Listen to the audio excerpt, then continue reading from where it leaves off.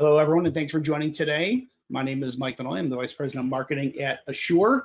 And today we have a little bit different topic. Normally we talk a lot about HR and payroll compliance and HR trends and best practices around attracting and developing and retaining talent.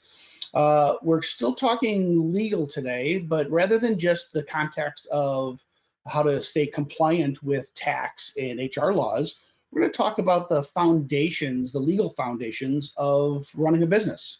Uh, so many companies uh, joining today's conversation probably have just started or are, are, planning to start a new entity. But for, for most listeners, um, you know, we've been in business for a while, but may not have had the proper guidance for how to think about uh, some of the some of the major themes we're talking about today. Whether it's what kind of entity do I have, how do I set up contracts, how do I how do I protect my brand, um, in, in making sure my business itself is on a good, solid legal foundation. I think maybe the good news here is that it's probably never too late to go back and do the right thing. Uh, and uh, uh, I have a great guest today to, to help us unpack this information. So uh, welcome to today's conversation. My guest, uh, uh, Christina Gilbertson of the Gilbertson Law Firm. Christina is based out of the greater Denver, Colorado area where she serves the Mountain States uh, and has a lot of experience both in employer uh, an employment law, wage and hour law, but also just general uh, practice around helping small and mid-sized companies. So, uh, Christina, welcome today. Look forward to, to, unpacking this topic with you. Thanks for having me back, me back, Mike. I appreciate it. Yeah, very good. All right, so before we kind of jump into what we're calling, I guess, the, you know, the four the four uh, top actions that employers and, small mid-sized companies need to take. Can you just kind of set the stage? This might sound obvious, but I think there's probably some not so obvious reasons why it's really important for businesses to, if not start out, at least course correct and, and have a solid legal foundation. Absolutely. And and you mentioned it a minute ago that it's never too late to get things, get your house in order and get everything set up the way it should be to protect yourself.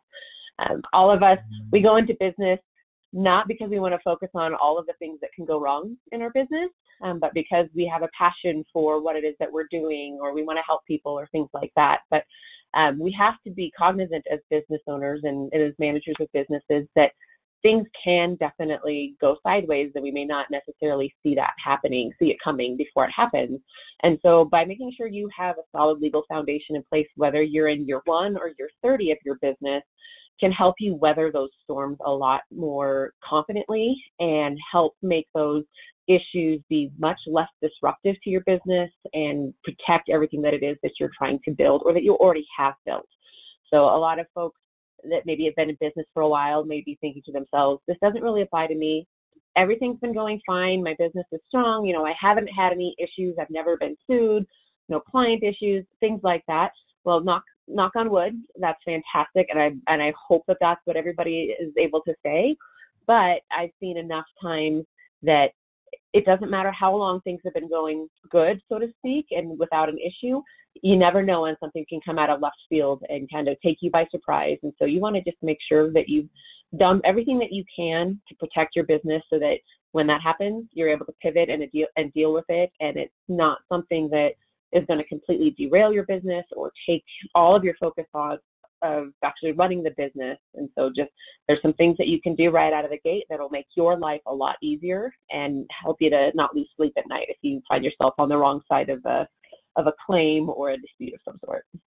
Yeah, I think that's really good advice, Christina. Before we jump in, I, I mean, I, this is one of those things I think for existing businesses, it's so easy to ignore. I, I liken it almost like to, to health. I mean, I might eat, I might eat Twinkies and drink Mountain Dew every day, and hey, I've never had a heart attack. Why should I change anything? Well, count my blessings. The heart attack is probably coming someday, right?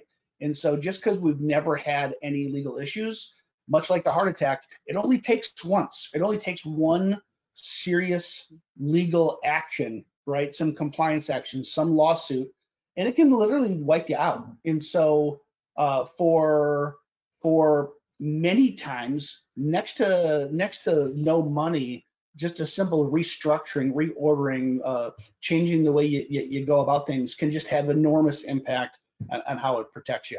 Anything else you'd want to say before we kind of jump into the into the, the top actions themselves? No, I think you just hit it on the head. You know, it's the things we're going to be talking about today. They're not earth-changing, earth-shattering things that you have to do to to get your business protected. It's just maybe things that you've kind of overlooked or just haven't really thought about. And so, really, that's kind of for the especially for those businesses that have been around for a while is kind of get those wheels turning so you can kind of start thinking about hey when's the last time i looked at my contracts? or hey when was the last time i did x? And if you're just now starting off it's always easier to start off on the right foot than to try to change course and correct things you know down the road. But again it's never too late to do that work and, and make sure that you're on the right path to protect everything. Yeah, and I, I think that our our first top action really ties back to that, right? Because I, if if I'm a maybe I own a home uh, remodeling business where I special I have three to five crews in a given time doing kitchens and baths. But 20 years ago, I was swinging a hammer myself, right? And then eventually I hired an assistant, and then I hired a couple more employees, and then I had a crew, and then I had a couple crews. Or if I uh, started out my career as a hairstylist, and later I uh, rented a chair, and I was still self-employed. Uh, but then I bought the salon, and then I'm I, now I have employees. So many times we grow into these things gradually over time that what may have even made sense legally at the foundation no longer makes sense. Can you? So let's take this first one uh, of regardless of you're new or not. What, what are the different types of legal entities? and how should how would people know if they're classifying themselves not classifying themselves how, do they know they're structuring themselves with the right entity type? Sure, absolutely. So there's four basic entity types for businesses, and I'll talk about them all a little uh, uh, briefly a little bit. The first is the sole proprietor. That's for you know you're the only one in your business. You haven't filed a separate entity with the Secretary of State. You're just doing business as you. Um, that is a an entity structure I don't know that I would actually call that an entity structure necessarily, but that is an entity type that I would never recommend to anybody to have. Um, the problem with a sole proprietorship is that there is no delineation between your personal assets and the assets of your business, and likewise the liability between your personal and your business life. So if you were to get sued because of something you did in your professional side of things, that means that if somebody gets a judgment against you or something, they can come after your, your house things like that. Whereas if you were to take that one extra step and register, say, an LLC with the Secretary of State, that is an inexpensive um, solution that will very that will be able to insulate your personal assets from your business assets and liabilities. So if you're a sole proprietor that hasn't done any kind of formal filing, I would definitely say let's take a look at that and see what we can do to get you buttoned up there. Um, the sole proprietorship is definitely the simplest side of things because nothing else, nothing is required to be filed or anything like that. You do one set of tax returns. That's all, all everything shows up on your own personal tax return, and there's no separate legal entity for anything for your business. Right. Um, the partnership is similar to a uh, a sole proprietor, just means that there's more than one owner of the business. And there's different types of uh, partnerships. You can have a general partnership, which is pretty much the exact same liability issues as what you would see with a sole proprietor in that the so all the owners are considered general partners, meaning that they're all subject to the same liability of each other, um, eh, which will extend to their personal assets, everything there. Um, you could set it up as a limited liability partnership where you would have general partners and limited partners where the, the liability is just that. For the limited partners, their liability will be limited to their assets and their rights to the, within the business itself, but you'll still have a general partner that may be still having that subjection to their personal assets uh, being at risk. So a partnership, you know, that's a certainly, um, I, I, would say if you want to just be a partnership, do a limited liability partnership as opposed to just a general partnership, so there is at least some level of uh, protection, at least for the limited partners. And that could be a whole different uh, topic where we could spend a lot of time on what really what is the difference between a general and a limited partner. Um, that that I don't think that's really where we want to focus today on, but that is something that you know if you have questions about, we jump through those hoops at another time. Um, the next type of companies uh, entity structure that I want to talk about is a corporation. Those are typically that's historically what you think of when you think of a formal legal entity. The corporation is completely separate and isolated from its owners, who the owners are called stockholders or shareholders, something like that. The corporation will file its own separate tax returns, and the, the owners will file their own separate tax returns, and there's a, a clear delineation there as long as you're not uh, commingling uh, your personal assets with your corporation. The thing with a corporation is it has some administrative bells and whistles and hoops you have to jump through. Like you have to have an annual shareholders meeting, you have to have bylaws. There's just different things that you have to do on a on a regular basis to maintain that corporate identity. And so um, corporations for most businesses, probably especially folks that are on on this webinar today and maybe watching this in replay, a corporation is probably going to be a little bit more than what you necessarily need to deal with, just because of those additional administrative headaches and things that you have to deal with. So that's where um, the limited liability company comes into play, or an LLC. So that so, gives you the best. Christine, Christine, before we go to LLC, so um, what would what would be? And I think I think you're right. I think probably for most listeners, uh, uh, if they because because the corporations themselves. I mean, that's not just a webinar. That's a that's a year of law school for we could spend on that topic alone, right? Um, but just basic S corp, C corps. Why would someone, let's say a larger business, why would someone care or want the the extra level of protection from a true corporation versus where you're going to go with an LLC?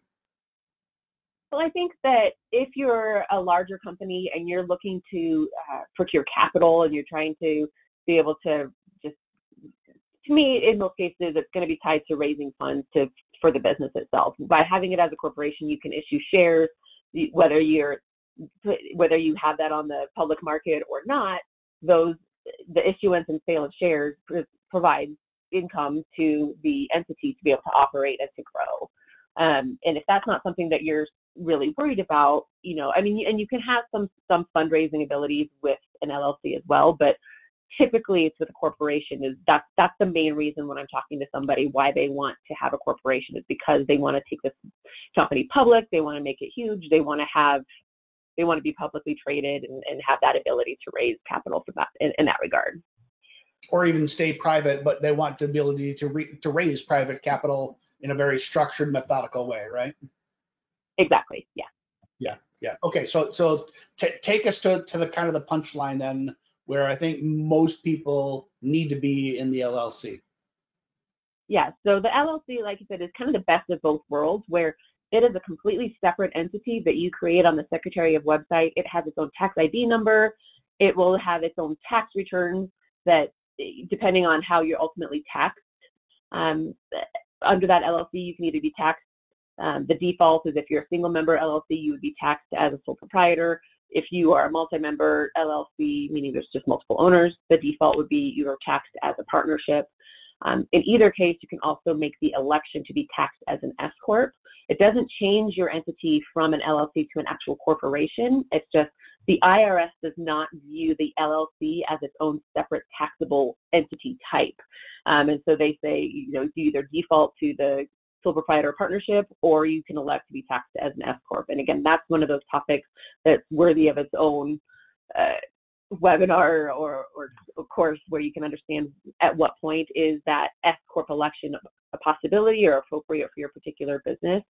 Um, but really, with the LLC, you don't have to have those annual meetings necessarily. You don't have to have uh, bylaws. It, it, it just doesn't have as many of the corporate hoops that are absolutely required of a corporation. I still recommend that LLCs have at least an informal meeting at least every year with the ownership, even if it's just yourself and you just kind of sit down and you kind of look at it and make sure that the business is still running the way that you want it to and that see if there's any tweaks that need to be made as far as the, how the company is operated.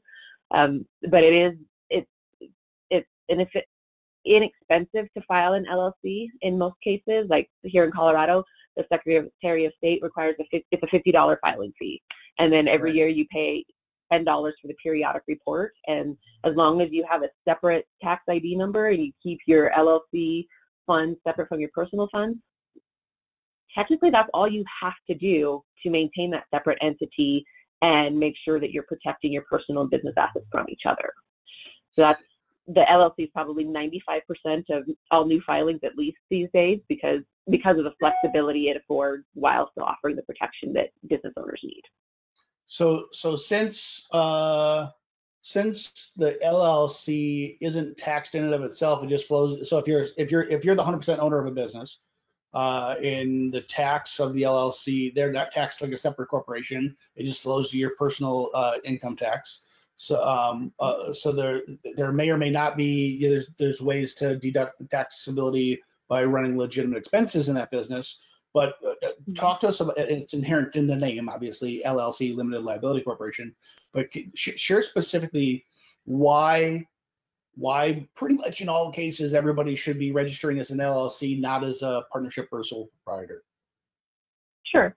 So um, if you are trying to figure out why do I need to do that, then it's because um, if you were to get sued in your business, or you know somebody were to slip and fall, or whatever problem that your business may ultimately be faced with, um, then your liability as the owner, as long as you kept your business and personal assets separate and apart from one another, and you're not commingling and paying for your groceries, your personal groceries through your business account, things like that on a regular basis, um, then your liability as the owner is, is going to be limited to what the assets of the company itself are.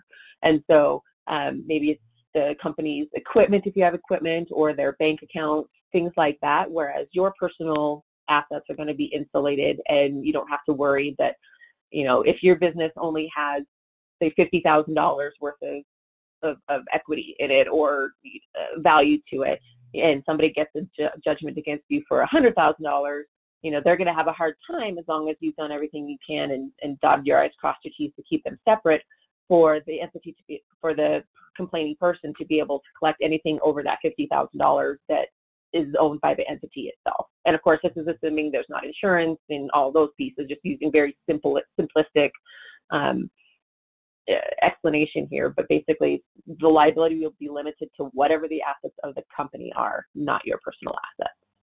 And maybe the last thing on this topic uh, before we move on, because this is we can get into deep water really fast.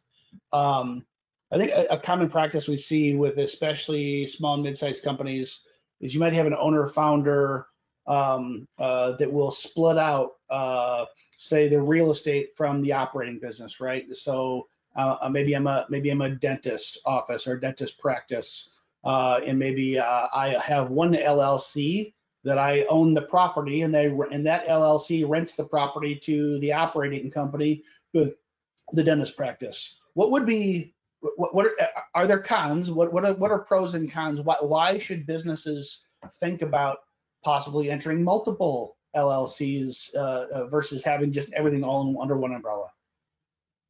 That's a great question. Um, in my world, I'm always gonna my my first recommendation is going to be to try to split things up as much as possible into their own separate silos. Because again, uh, um, in the situation that you just described, if somebody were to slip and fall on the property of that dentist's office, then yes, from where you sit as the owner of both the property and the business there, it may not seem like it matters whether it's all under one umbrella or not. But if um, you, you want to be able to still isolate the, the ownership or the, the liability and the assets of the the entity the, the business itself and of the building itself. And so if you have multiple um, rental properties or things like that, like I'll have I've had some people that um, they have a bit a side business where they rent houses or something like that as rental properties. And I'm always going to recommend let's have each entity or each address has its own entity tied to it. Again, so that if somebody slips and falls on property A, only property A is subject to any potential liability. It's not going to be across the board as far as all of their different businesses. And the same is true, like you're saying, as far as a business that's on the property that's owned by two separate LLCs. You want to make sure, say the business itself, say it's a, if you're dealing with a dental practice, you know, there may be personal injury claims, you know, some a malpractice claim or something against the dentist because maybe something happened, somebody loses a tooth, you know, you want to make sure that only the assets dental practice and or the insurance of that dental practice are coming into play, but that the building itself is isolated from any liability. On the flip side, it may be something where somebody slips and falls outside. Maybe that's going to fall on the landlord entity as opposed to the business operations. And you just want to make sure that you're clear as to uh, who's responsible for what aspect of maintenance and, and different claims that may apply. Uh, but just keeping as many silos as you can that uh, can limit the liability. And, and it can get it can get complicated, but you can have in, in some cases you can have an umbrella entity that owns separate silos because one L, one LLC can own another LLC. Um, but as long as you're again keeping things separate from each other, I mean that's basically the way you want to look at it. Each each entity is its own bucket of liability potential, and the more you can contain that into one little bucket without it spilling over into other may own, then the better it's going to be for you from a liability perspective. And that's the world that I live in. Is how do we minimize your liability, keep you safe? So I, I think we should probably stop there. Maybe I'll maybe I'll recap saying there's probably no level of complexity that we couldn't take this topic, right? Um, the nesting of LLCs. If I wanted to start a retail company called Mike's Top Hats and I had three locations, I might have three LLCs, one for each, and then I might have another LLC that owns those three. It can it can get really complex really fast, and there's a cost to administer that complexity, right? To keep separate books and because uh, if you commingle the funds in a court of law, the judge is going to say, hey, that's really just one business. Uh, you're not protected. Um, but uh, the, the point is, don't run around as a sole proprietor or, or a partnership. At, at, minimum, consider maybe uh, uh, uh, filing as a corporation, but at minimum, file as a limited liability corporation and consider splitting up into as many logical buckets as exists to protect your your liability in case something bad ever happened. Am I saying that right, Christina? Yep, that's exactly right. Yeah. Okay. Let's move on. So there's guidance number one. If you if you want to drop now, that that's it. That's the most important one by far. Uh, but there are still three more things we want to talk about. Number number two is, is contracts. This is another one I yeah. think when people start out in, you know, I started out swinging a hammer as a as a uh, doing home remodeling. Um, and it was my buddy. It was or is a childhood friend that I hired to to work with me. You don't think about you know contracts with friends and family necessarily, but as the business grows, that lack of process that you started the business with all of a sudden becomes a real liability now. Can, can you talk about the importance of contracts, whether it's employment, uh, vendors, customers, etc.? Absolutely, and and what you, the situation you're discussing is is one of the first things that most business owners learn the hard way because we Uh, we as individuals are we're trusting of other people. We want to think that people are going to uphold their end of the deal, you know, and we don't think especially if you're dealing with a friend or family member, you're like, you don't need that level of formality. You know, we've been friends for 30 years. He's not going to do anything that's going to jeopardize our friendship or damage my business in any way that may be true, that may be the intention, but you just, I, I've seen far too many times where things fall apart, unfortunately. And then you're sitting there and it's got an extra added layer of emotion because you're dealing with somebody that you thought you could trust, and it turns around that, you know, eventually that can bite you. So you don't have right. to have a super complex contract. I'm not saying you have to go and have a 50 page contract with 75 exhibits and, you know, that talks about like every possible scenario that can could exist, but you want to make sure whether you're dealing with a business partner, an employee, um, real estate related, vendors, clients, any of those um, different people that you may be doing business with on some level or another, whether you're providing a service or uh, a product, or if you're receiving some sort of a service or a product to help your business run, you want to make sure that the terms of that relationship are reduced to writing. You want to have things in there that are as simple as what are the payment terms? What's the scope of the services or the type of product being delivered? What's the time frame that the, that delivery and exchange is supposed to happen? What happens if you want to terminate that relationship? What do you what hoops do you need to jump through to terminate the contract? What happens if somebody breaches their end of the deal? So you deliver on your end of it and you're supposed to be getting paid by your client and your client hasn't paid you well, are you allowed to take them to collections? Do you have to go to mediation? Are you able to recover your attorney's fees for chasing them for payment? Things like that, that a lot of business owners just aren't thinking about. And it's that layer of formality that I think a lot of people are afraid is going to scare people off. Um, in that they're like, well, we're, it's a very informal relationship. So, and if I ask them to sign this contract, even though it's a three page contract, it's going to scare my customer off. Um, and the way that I counter that is it, it, it's always possible. Yes, it could scare people off. But if you look at it from the standpoint that it's protecting both parties that are involved so that you both have a clear understanding of what the scope of the relationship really looks like, what the scope of the relationship is, do it up front while the relationship is still in the good position before any you know hard feelings might exist or before too many emotions can get involved get those terms down in writing while everybody's in a clear cool calm collected head and get things taken care of for you yeah you know what uh, and there's a continuum here for complexity right so if i if my business uh, i'm no longer a sole proprietor i have an, I have an llc but I, I have a small burger shop um, am I going to require everybody comes to my counter to buy a burger to sign a contract? Well, uh, probably not, right? Um, but if I'm delivering multi-million dollar services that are a combination of people delivered services and technology over a multi-year period, I mean, then of course you're gonna have contracts. And so there's a there's a continuum of, of all in between. Um, for I, my my coaching, I guess, would be for for businesses that are are afraid of putting a bad taste in the mouth of your customer, saying, "Hey, we we want something less formal."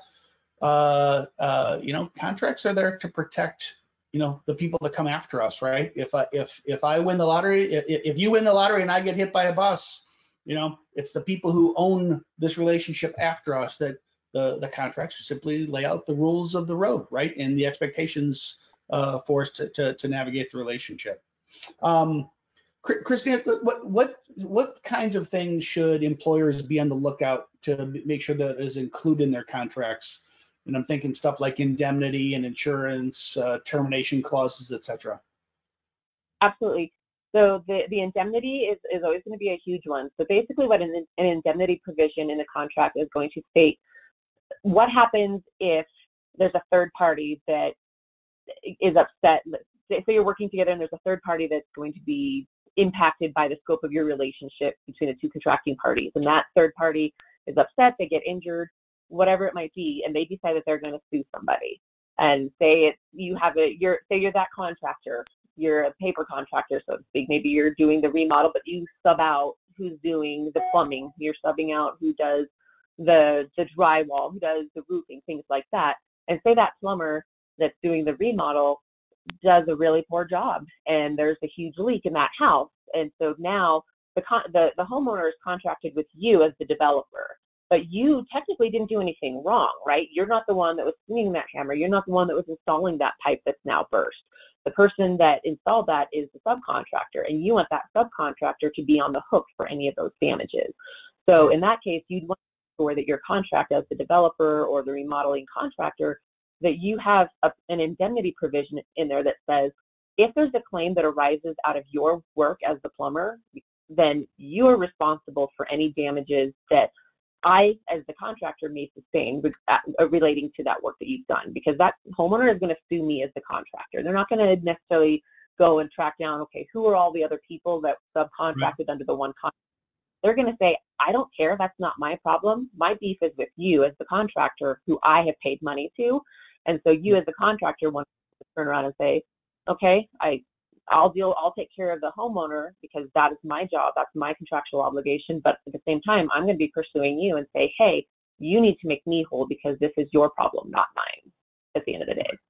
And so that's what an indemnification provision essentially is all about. And you want to know on which end are you, are you uh, on the beneficiary side of things where some other party has to indemnify and defend you against a claim? Or are you the one that has to defend and indemnify another party?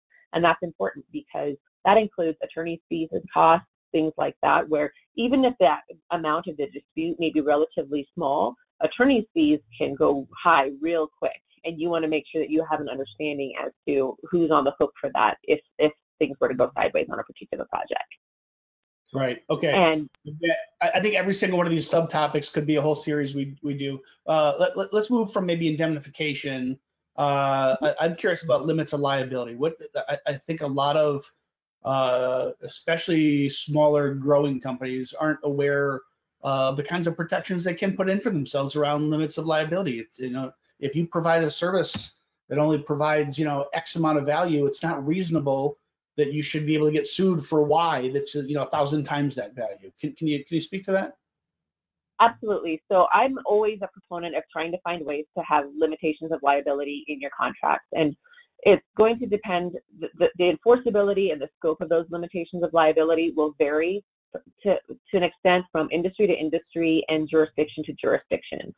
So um, when I'm thinking about a limitation of liability, an easy one that comes to mind that I have successfully um, defended um, in court is for a home inspector. So a home inspector you know, if you're going to go buy a house, then you're going to hire a home inspector to, to take a look at that house, make sure that everything is in operational format, you know, if there's no big issues, um, you know, there's not a foundation, the house is settling and things are cracking, things like that. Um, and you're relying on that home inspector's report and basically stamp of approval on the property. Yeah. Well, sometimes they slip through the cracks. Sometimes, so to say, no pun intended there, but there may be instances where you know something was just missed and then at, if i'm representing the home inspector i'm going to have them have in their contract that says if there is some sort of an issue that maybe was missed or that you know i didn't properly identify for you or you know whatever it might be then the maximum amount that you would be able to recover against that particular home inspection inspector it may be the cost of whatever you paid for the home inspection itself it may be $5,000. It may be whatever dollar amount is makes sense in that particular situation and what that jurisdiction and the industry allows to happen. And so I have successfully had contracts where we limited to the cost of the inspection itself, which say $650, you know, is a pretty common ballpark for a lot of home inspections, at least in the Colorado area. And we were able to say, okay, well, we'll refund you that $650 that we paid, that you paid me to do the inspection, but after that, you need to go away because contractually that's what you agreed to.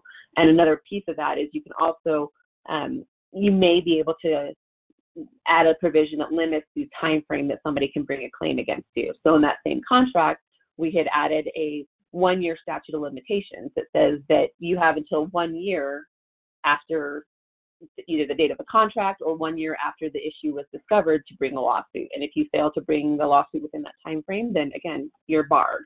Um, the the statutory uh, time frame, at least under Colorado law, for a breach of contract, which is what this would be, would typically be three years. But we would, at least in Colorado and other some jurisdictions, you can agree to shorten that to one year, two years, something like that. And so look at different ways that you might be able to limit your liability and just keep an understanding that again, it may be industry specific and it may be dependent on your specific jurisdiction where you're doing the services or providing the products that we're talking about here. Right. So for contracts in general, the more the more specificity you can lay out, payment terms, uh, how services will be delivered and or product will be delivered. The more specific you can lay it out, the more you protect you and the client um, in the case that there is a dispute. But the big ways that you can really protect uh, your exposure, your liability as a company uh, is uh, the first one you hit. I think Christina's indemnity, right? Mm-hmm. Um, but then the second is limits of liability. Uh, and it's forgive the terrible joke, but it's like if you're a, a baker uh, and, and you botch the wedding cake, uh, you should, you know, if you have a limit of liability to the price of goods serv- uh, uh, services delivered, you should be on the hook uh, to refund uh, the cost of the cake, not for the cost of ruining the marriage, right? So uh, that's why you put those things in in place. Anything else you want to say on contract before we move on to the next action? Um, I think that the other one I would just like to hit on is whether or not attorney's fees are recoverable under a contract. Most states, um, unless the re- recovery of attorney's fees are specifically laid out in a contract or there's some sort of a statute in place that allows for the recovery of attorney's fees, each party is going to be deemed to be responsible for their own fees. And again, as I mentioned, you may have the, the value of the dispute between you and the other party may be minimal, but attorney's fees can rack up really quickly. And so you want to make sure that you know, you know, am I on the hook also if I lose that I also have to pay not only the $500 value of the dispute, but also the $1,500 in attorney's fees that are on top of that. Now it's turned into a $2,000 claim as opposed to just a $500 claim. So just understanding, yeah. you know, what other areas there may be of liability for you. and we could probably say this for every single one of these uh, top four actions that we're recommending, but uh, boy, the if you're a small business owner paying, at, and, and everybody's different, so um, uh, you know whether it's two hundred dollars an hour or five hundred dollars an hour that an attorney is going to charge you, uh, that's that can sound really scary and expensive when you're trying to survive. But you know, asking an attorney to spend two three hours putting together your really basic contract, I mean, that they an attorney can go wild on you, right, Christina, uh, and and make something way more complex than it has to be. But if you give really specific, narrow instructions, here's my budget. I just want something simple to protect me. You know, spending a few hundred or a couple thousand dollars even upfront could save you thousands, tens of thousands, hundreds of thousands down the road. Absolutely. Yeah. yeah. Okay, let's move to our uh, third action. Uh, and this one might sound, this one might not seem intuitive, right? Um, uh, when I think about an entrepreneur or a growing business, small, mid-sized company, I think about okay, legal structure that makes sense. Limit my liability, my corporate structure, my contracts, limit my li liability, uh, uh, my indemnification, and get out my T's crossed, my I's dotted. That makes sense. Um, what is what does insurance have to do with legal structure, and why would uh, why would a business be taking advice from an attorney about insurance? great question. Um, and it, you're, you're absolutely right. that people don't really think of this as a legal issue, but you need to understand that having the right insurance in place is the it, it, it's one of the most important things that you can do for your business to protect yourself in the event of a legal claim. So um, there's all kinds of different types of insurance, depend, and it's going to be dependent on your industry and what what exactly it is that you're doing. But you at the end of the day want somebody else to be paying the liability and rather than you having to come up with the money out of your business account itself and so how do you do that you have insurance i mean we all understand you know like health insurance you know if if we get in a car accident you know hopefully we have the insurance that'll pay for our you know if we're in a hospital or or emergency space things like that but the same is true of a business. And so if somebody slips and falls on your property, uh, you'll have your general liability insurance should kick in. And so rather you're you're paying your premiums on a regular basis, and those premiums maybe feel like a gut punch every month when they're coming out of your account, but you're gonna want you'll be so thankful for them if you have somebody that slips and falls that rather than you having to come up with fifty, sixty thousand dollars, couple hundred thousand dollars, who knows what it is, that you've been paying, you know, the insurance company to step in and take over for you. So right. the there's so many types of insurance, whether it's like the general liability is going to typically, if somebody gets injured on your property, things like that. Cybersecurity is something that a lot of people don't think about and is a huge issue right now, especially with current events. You want to make sure that if your system were to get hacked and your client or customer information were to be uh, accessed by an unauthorized person, you know, that there can be significant fines and things that can uh, happen if you don't have the right safety safety nets in place. And, and your cyber insurance can help you to deal with some of those issues and some of those claims. Um, if you're a professional, like say like myself as a lawyer, or if you're in the medical prof- profession or accounting, things like that, you'll have malpractice insurance that basically takes care of your negligence as a for any errors and omissions that you may make as in your professional capacity.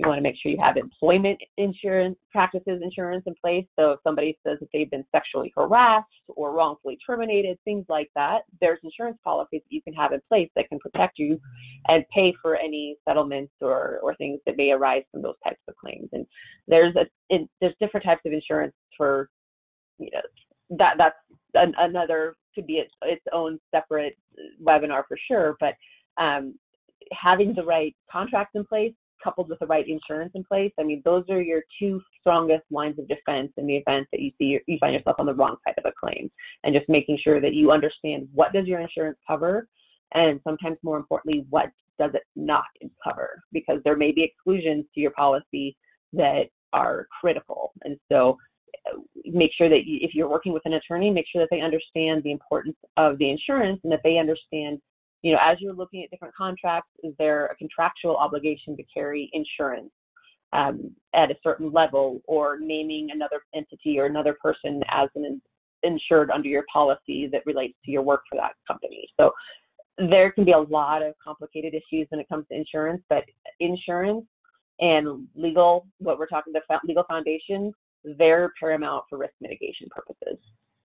Yeah, right. Um, there, and, and I think maybe the only thing I'd share before we move on to our last topic here would be there, there are so many forms of insurance that I think most businesses don't even realize exist, right? I mean, we all know health insurance, we all know property and casualty, uh, uh, property casualty insurance. Um, so we, we, we, we, off the top of our head, we're like, yeah, okay, I need insurance to make sure that if a tornado or a hurricane blows my business down, you know, I can I can rebuild. Uh, I know that I need insurance uh, for uh, for my health insurance for myself and, and or for my employees, depending on your your size and legal requirements.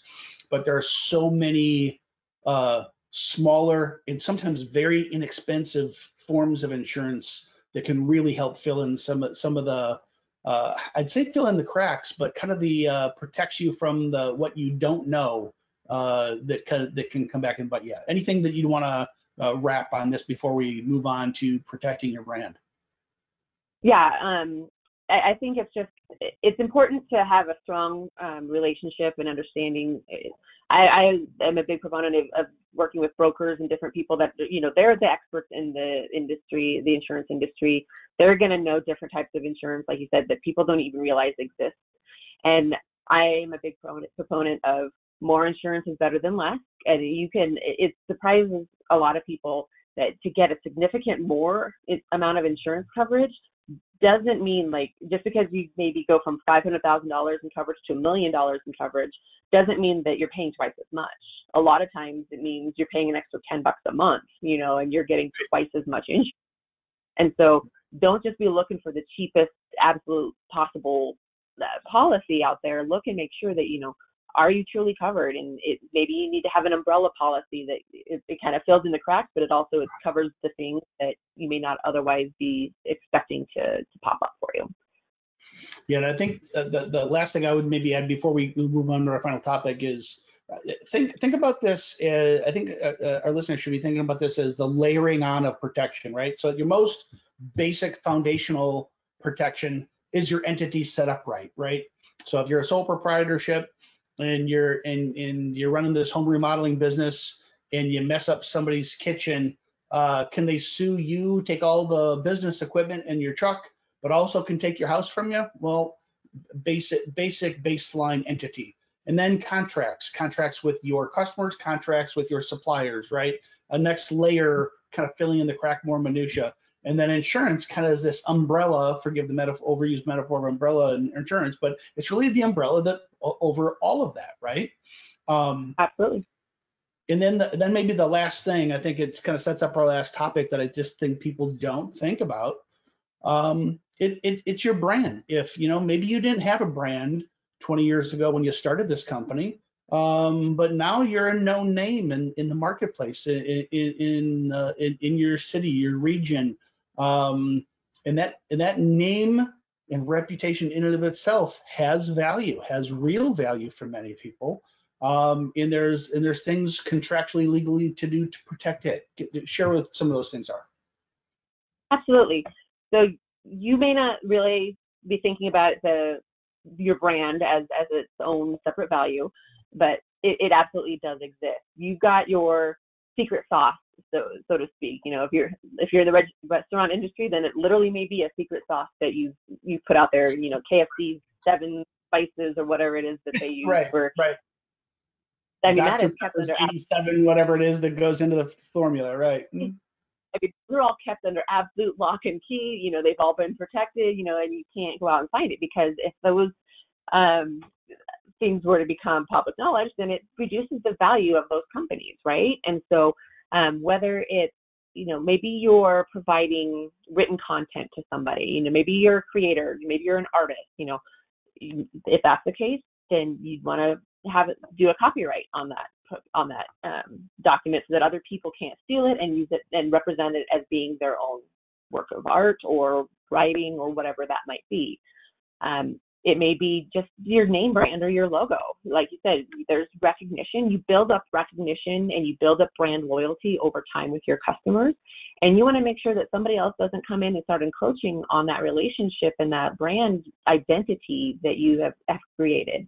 And so um, there's different layers of protection that you can do as far as protecting your brand. Um, if you wanted to protect your business name, maybe it's a really cool business name, or you have a really cool slogan, or you're really proud of your logo you know, I would say at a minimum, register your trade, register it as a trademark or a trade name or something with your local, with your state Secretary of State website. Um, that's the simplest way to protect the name brand and logos and things like that. But that's going to be limited to your state. So that means if uh, if I'm here in Colorado and I were to go register Gilbertson Law Office or my my Glow logo, something like that, it would be protected here in Colorado. But somebody in Kansas, in the state over, could have their own Gilbertson Law Office and steal my logo. And there's nothing that I would necessarily be able to do with that at this point. But if I were to take it a step further and file a formal trademark with the United States um, Patent and Trademark Office, that means that I have, if my application gets approved, that means that I have priority over anybody else in the entire country. And in some cases, if you take another step of layer and you file it internationally, that means I could stop anybody around the world that tries to use Gilbertson Law Office or Glow or, you know, I mean, there's, this is a very simplistic explanation of it, but um, that's one way that you protect your brand is just the name, logo, trademark um, of the slogan, things like that. But you may also um, you also have what's called trade secrets. Whether you think that you have trade secrets or not, if you've ever heard that or not, your business has them. And what does that mean? It's everything from your client and customer list. It's your internal processes, like how do you do your business? It's your um, it, anything that is unique to your business or that maybe you have tweaked to work for your business. Those are all considered trade secrets that it's not information that's available to the public. So somebody that comes in and they're maybe they're an independent contractor or they're an employee, you want to make sure that you're protecting your brand and protecting them from uh, being able to take that information, those trade secrets that they've learned from working with you and either start their own business that uses that information or they take it to a competitor or something like that. So if that were the case, I, that's why I always recommend when you're hiring employees or contractors or vendors that have access to your internal operations, non-disclosure agreements, confidentiality agreements are huge.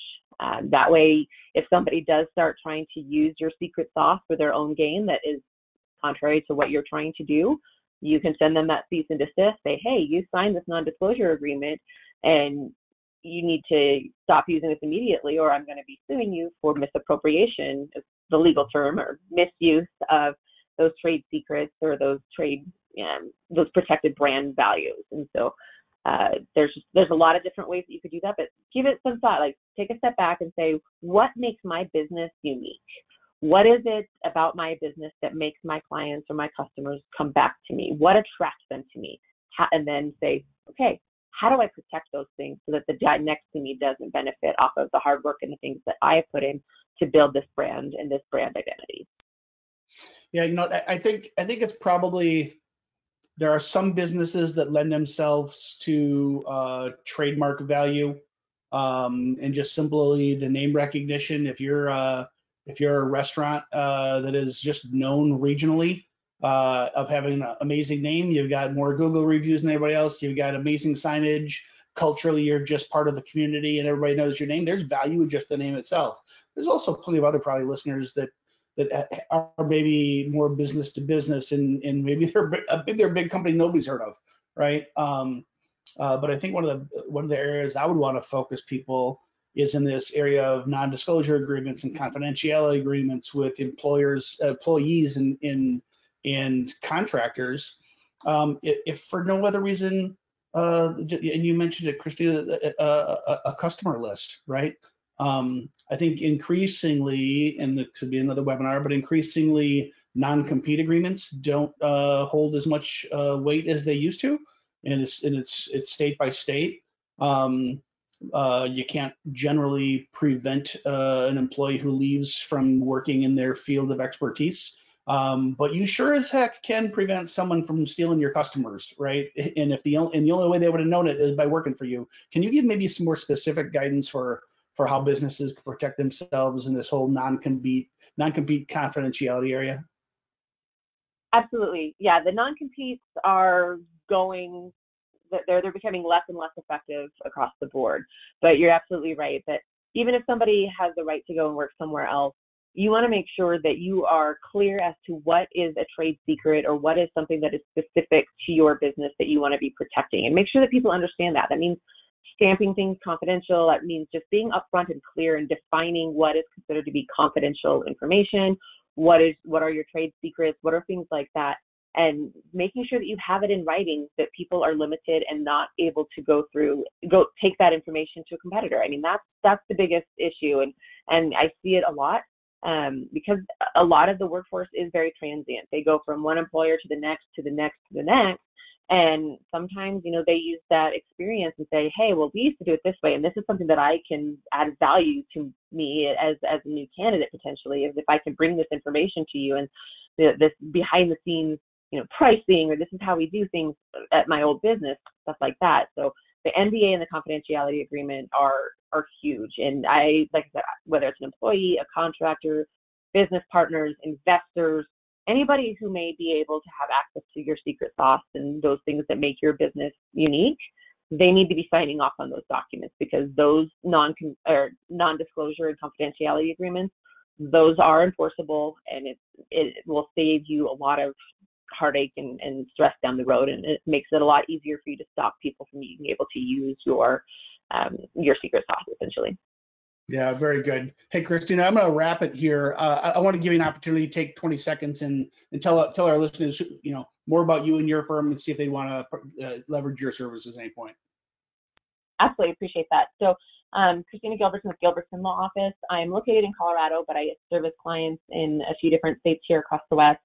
Um, I typically act as general outside counsel um, advising clients on everything through the formation, through sale of the business, brand protection, employee issues, contracts.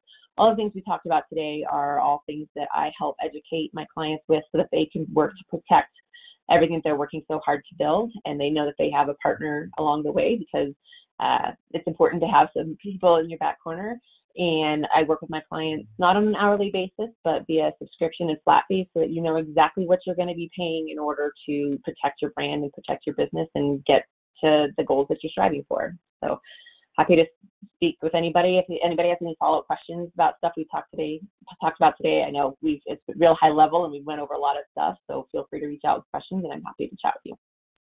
I appreciate it, Christine. And, and as always, there's no uh, full transparency, uh, there's no financial benefit uh, for Asure uh, uh, in this relationship. Just simply wanted to uh, tap someone who he thinks have, has a lot of expertise in this area. So if you can use Christina, great. hopefully, regardless, the information shared today was valuable in helping you run your business. and with that, this this is also what we do. We help people comply with the law. Usually, we have these conversations in the context of HR and tax law. Uh, but we're really here to take care of the back office administration, administrative functions of payroll and human resources, uh, uh, so that businesses can focus on growth. Uh, and until next week, uh, I thank you for your time. Christina, thanks for joining me today. Yeah, thanks for having me. Appreciate it. And thanks all. Until next week, we'll talk to you then.